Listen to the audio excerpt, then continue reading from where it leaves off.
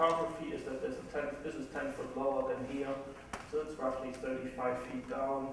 There's a steam tunnel here, which we're gonna go under. Um,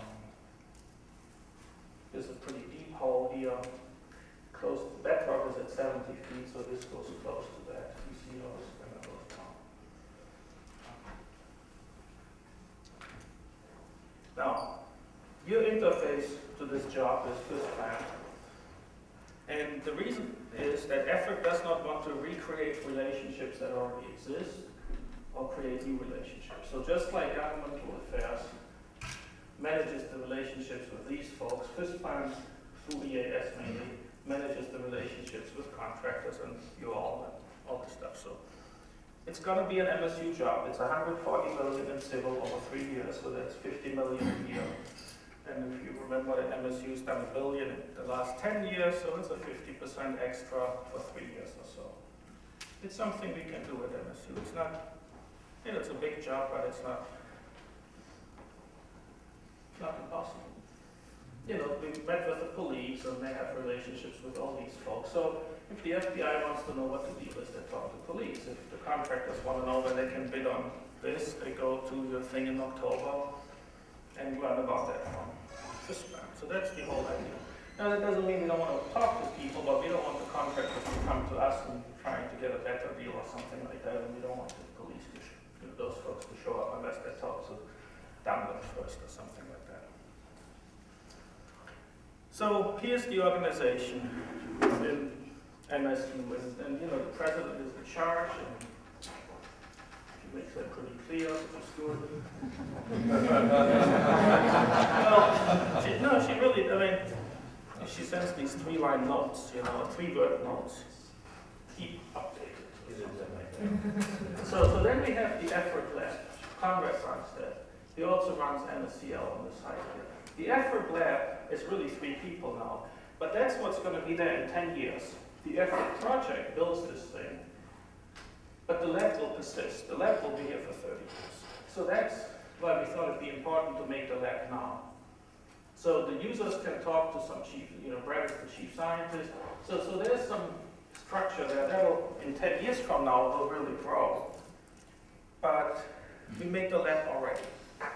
And the other nice thing is because the NSCL director reports directly to the provost, so we're just leveraging that same um, structure we already have at. Now. Now this thing is going to be audited, and so we thought it'd be prudent to make it First, we're going to make it its own MAU, but the other MAU codes at MSU until the new business system comes in. So we made it a new common unit, so it's a new department. And when the auditors come, we said, we're glad you're here. We came for, you know, Department 299, so, you know, have a look. It'll be good. But we don't have them crawling all over the place. Uh, and one thing leads to another. And the reason this will be audited is just a big job and in the Office of Science World, it's the first time that a university or anybody has done anything that big under cooperative agreement. What they normally do is they have a contract, a letter contract, and the difference is like this. In a contract, the government has all the rights, and a subset of rights and responsibilities is delegated to the contractor. But the contracting officer has a lot of say. In this cooperative agreement case, the government gives MSU a gift and says, We'll see you in 10 years, do some good. They're going to retain certain rights through this statement of significant involvement and say, do some good, but we kind of want to meet with you every six months. And let us know if you buy big stuff. So the government retains certain rights, but MSU has all the rights not retained. And the contract is the other way around. The government has all the rights except for the ones delegated. So that's why I say it's probably going to be audited pretty heavily because that instrument doesn't afford the government the rights they used to under contract. You know, they want us to see how we do something. So next meeting is uh, Eric, who's my deputy. Some of these folks are from URS Corporation. And I want to talk about that for a moment. The relationship with URS we have is, so when we bid on this project, MSU does a lot of construction, but we don't do any DOE work. URS does a lot of DOE work. So we have three people We've got Bob and Eric and Gary from URS. They've done big DOE stuff. URS has given us those folks, we manage them like MSU employees. You can't tell they're from URS except for they have these nice sweatshirts, which we need to get some of those too. but we just treat them like our folks, but they have credibility with the government. This guy built 800 million without a lost work time accident to make nuclear weapons in Texas. This guy cleaned up nuclear waste, and he is a safety guy down out of Aiken who has done stuff for the last big DOE job, these Spallation Neutron Source down in Oak Ridge. So he was the safety guy on the last big DOE Office of Science project, and he didn't do a bad job. I guess he did a good job. So we say we want him, so the government comes and says, yeah, we know him, he did good down there, it'll be all right. The government is nervous, they don't know MSU. So we want to reassure them, we get them some people that kind of dealt with before. That's the whole idea. These people here, you don't know them, it doesn't matter. The point is, these guys have done big government projects before. So if, if DOE looks at them, they say, oh yeah, they're good people, they're good people. And that's all they need. They need to feel good about MSU. And we can learn from them. So anyway, now, I wanted to bring Gary along, but he's in Texas on vacation because his wife is having had her knee replaced. So he moved up here, but his wife liked the doctor down there, so they hauled back down to Texas to do the second knee. He had done one knee. So anyway, that's the personal thing. So Gary is this guy.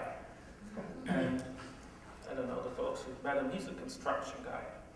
I like him. It's like no BS. Oh, we're to have two books 7 in the morning, so we're not going to have a meeting at 7. Well, we're going to meet at 8. So it's like pretty. Anyway, he is the contracting officer technical rep for FRIB to Jack Boomer. We're going to use Jack's contracts maybe spruce him up a little bit. And, you know, Scott can tell you about the first one.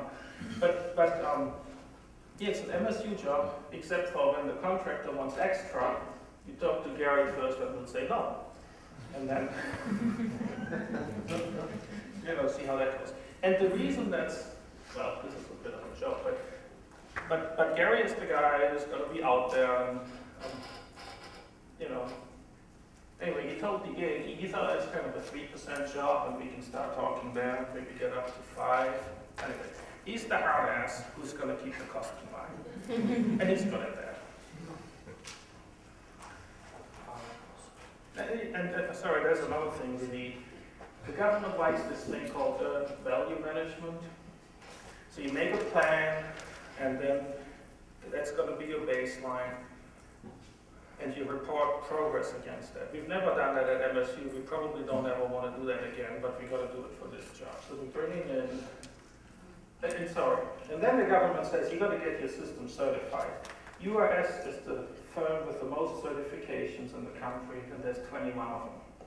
So they've done 21 jobs, earned value management, ANSI 748 certified. And we got to be one of them. And so we just to use their system It's going to somehow interface with Skyr. We've got to figure that out yet, and we've got to interface with the new EBS system. But it makes the reports the government likes to have. So here's um, the notional schedule. And the reason I say notional is this bit about congressional appropriations. You can't know what's going to happen. But if the DOE plan holds up, this is going to be our schedule. So the project has started in June, and this year we need to make documentation that supports the National Environmental Policy Act. But whenever the government invests this big money, they got to study the impact on the environment. We did, did it for, with federal money for Mount Hope and stuff.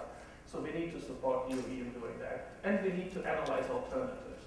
That's part of the DOE project. You need to write a report saying, well, we want to do this, and we're not doing that. And for that, you need to then discuss the things you have considered. Well, we thought about building it in Ireland. We thought about building it south campus, on South Campus. We thought about not building it. And then you have a report that kind of justifies why you're doing what you're doing. There's technical alternatives. You've got to say, well, we thought about building a big cyclotron. That was idea, so